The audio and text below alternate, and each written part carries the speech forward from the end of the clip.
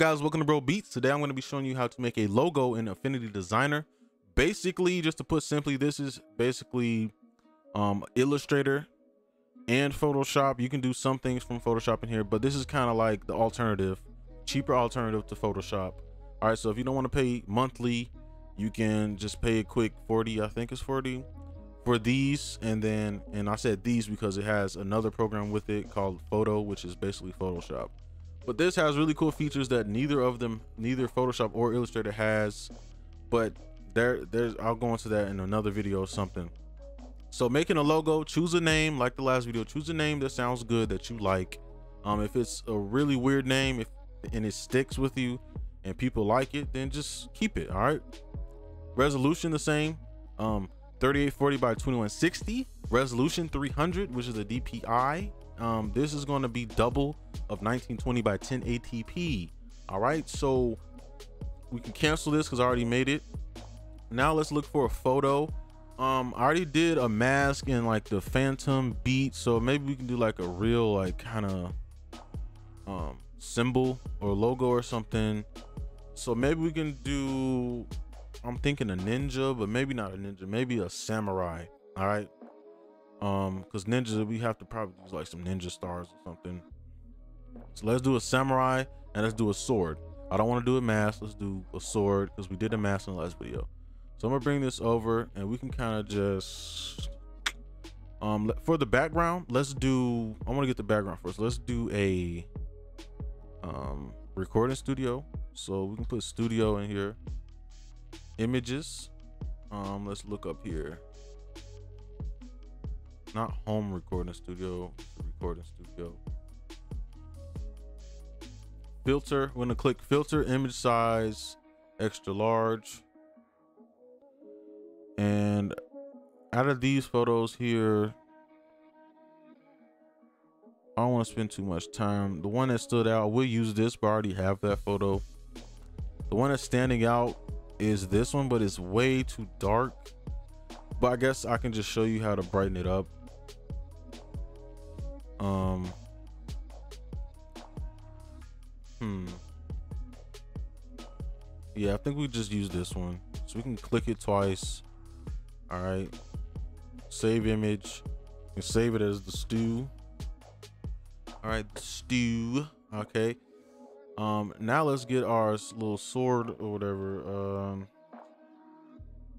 samurai sword PNG.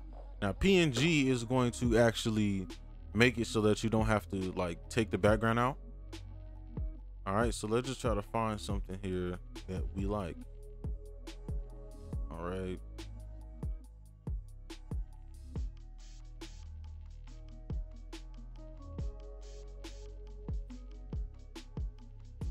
and the way I'm visualizing it, I kind of want something that looks like this, but not that sword. Maybe something like, I don't know, something a little better than that.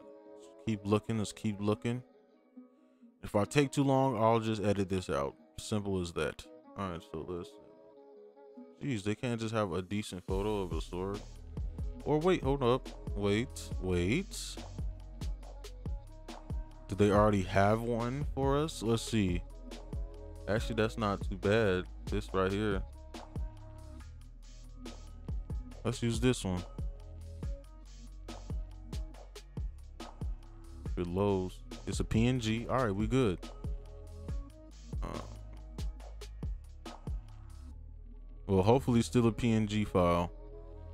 Um, S for sword.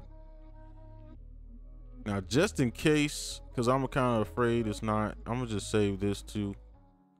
All right, so we're we're good now. We got everything we need. So go to open and just grab your projects. Where is this? Okay. All right, I'm controlling and clicking and they should load in here. Now with this, okay, you're gonna have to press control or if you're on the Mac, I think it's command C. All right, so control C. All right, but first you have to unlock it just like in Photoshop. Control C instead of dragging it because you can't drag it into another file you have to copy it and then press control v or command v or whatever let's center this and what you can do is hold control and then let me see and then you can just drag it in place. So you can resize it in place. Ooh, let me uh all right. So we good there we good. All right and then we can use this sword a little bit later. Right now i just want to focus on this. All right so for the black and white we're just going to click this little button that says adjustments go to black and white. And then you can adjust stuff here if you want. I'm gonna kind of just leave it and see what else i can do with this. So the shadows and highlights i'm gonna see if i can mess with this a bit. Make it a bit brighter. All right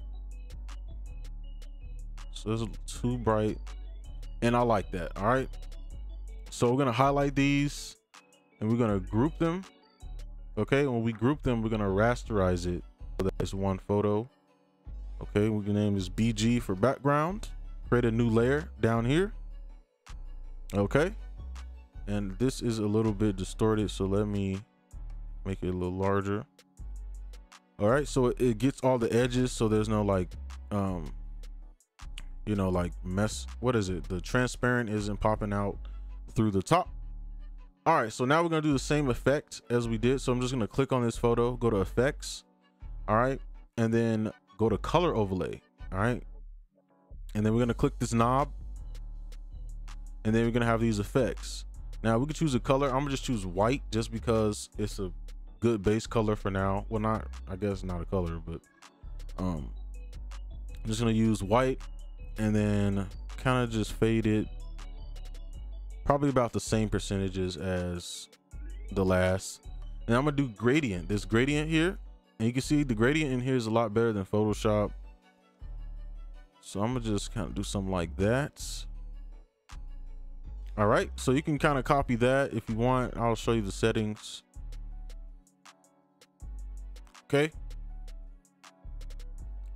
Now i'm trying to think what else can we do with this we can't posterize it so let me go to adjustments and you can go to posterize and then you can like see the backgrounds kind of like you know so we can posterize it i think that might be too much though let's try three kind of liking that one. So let's posterize it, leave it like that. So now we got to bring our letters in. So let's do samurai. Samurai. Okay. And I want a brush. I kind of want something that's a brush. So let you know, kind of like the letters. So um, let's see what looks good. That looks pretty good. That looks real good. It looks like really good um font. Um, I'm thinking I'm kind of feeling this one though. I don't know how I feel about that. We can try both though. I'm gonna just do this one and then we can just make this a little bit larger and make sure this is centered. All right. Do another one. Just name it beats. And we're just gonna make another font. I'm gonna probably use that alien font. Actually, hold up. Maybe if I make this. Ah, it looks a little, it looks pretty cool. What if we shrink it? I'm not sure how that's looking, but I don't think that font is a good font.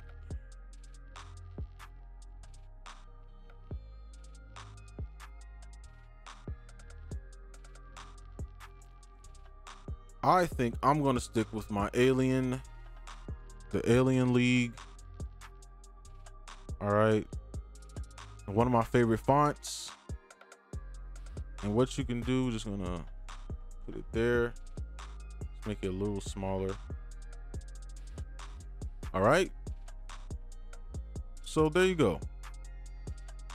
All right, next we're gonna have a logo up here, right? So let's pull our sword here. Again, unlock it. Control, Control C to copy it, and then Control V to copy it here. So we're gonna need to shrink this a little bit. Maybe about there would be fine.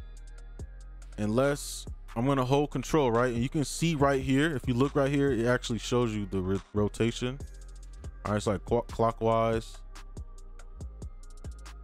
Let's try this and let's shrink it a little bit more.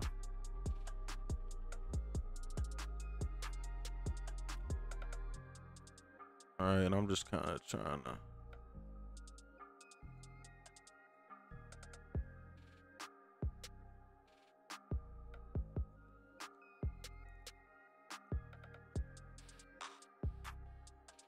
All right. That should be good. Now, what we're to do, and let me name this sword so people don't get confused. Is control, control C, control V to copy it. And now up here, we're to click flip, flip horizontal. All right. And that's to be our logo, but we're not finished with it. Obviously, we want to center these. I probably should have did that before, but all right, you can see how it, you know what I'm saying? Like Photoshop doesn't do this. Like it actually like calculates when you rotate it, like if it's centered or not. So I think that's centered. These letters are a little too like to the side for me. So I'm just gonna pull this over a bit because it's kind of bothering me. And that looks a little better to me. Let's see. Probably somewhere in, in between. All right, so I like that. So now with this, we're gonna change that. We're gonna actually um, group these, right click, and then go to group. And then all you have to do is right click again, go to rasterize, name it sword. And if you want, you can make them a little bit bigger. Make sure it's centered. Let's move the, the beats and the samurai down a bit away from it. All right, and we're almost done. All we got to do now is make this one color. So let's click on this, then go to effects, then go to the color overlay. And there you have it, it's one color. All right, or you could um, actually, if you don't want to do that, you want to keep the details, you can actually make it one color by making it black and white. All right and then hopefully this will work. Let me see just click here and then we can go to posterize. And it should do something like that but this photo obviously isn't good enough for that. So if you want to keep those details well that doesn't look too bad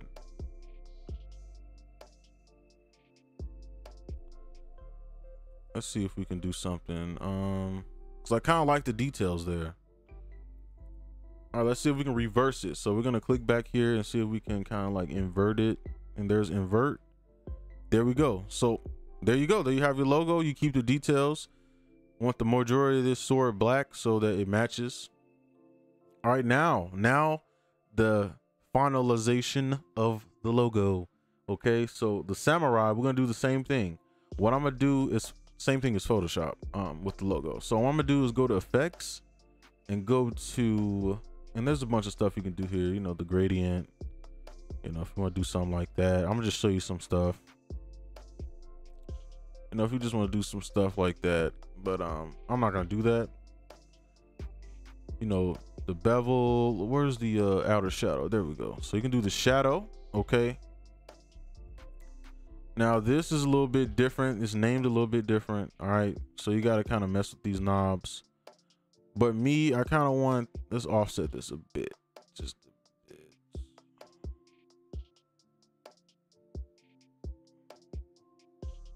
And I kind of want it to fade a little bit. So it's like it's glowing a bit. So I'm gonna keep it there, but then I'm gonna just turn this down a bit. And it's still a little bit, uh, just gotta adjust it. That's all. All right, so I like that. I like the way that looks. Maybe just a little bit. Um, turn the opacity down. Now you can keep that. Now for this, for the actual logo, you see how easy it is to make a logo. What is this up here? I don't know. It's just an extra layer. Now go to effects, Let's go to the outer shadow. And apparently this already has it down. Now we don't want this to be too crazy. Just a little bit.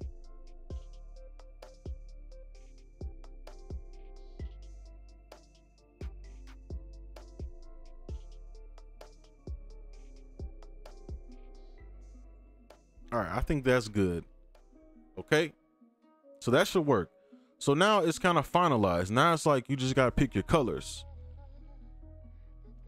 All right. So let's see. Uh, where are we on the background? Let's go to effects. And then let's go to the color overlay. You can see how different it looks. So let's click on this color here.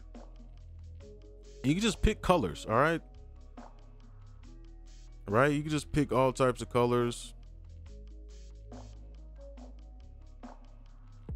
Or you can have it unsaturated, really saturated. Now, when you have black colors, like I said, black colors, when you have the color black, um, when you go to like purples and the blues, it's gonna look a little hard to see. Like right here, it's kind of hard to see. But to fix that, you just unsaturate it a bit. You know, you can see it's going to white. You just unsaturate.